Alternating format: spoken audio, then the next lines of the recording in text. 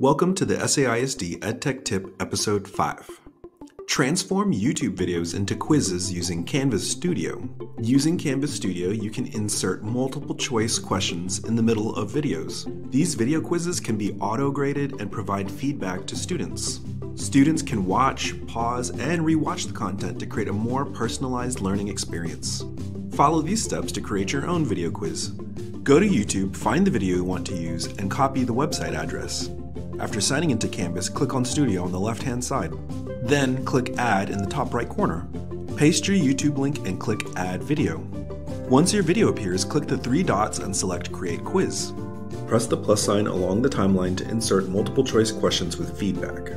Add your quiz to an assignment in Canvas using submission type external and choosing Canvas Studio. To learn more about this tool, schedule training, or learn more about Tech Tuesdays, visit us at saisd.net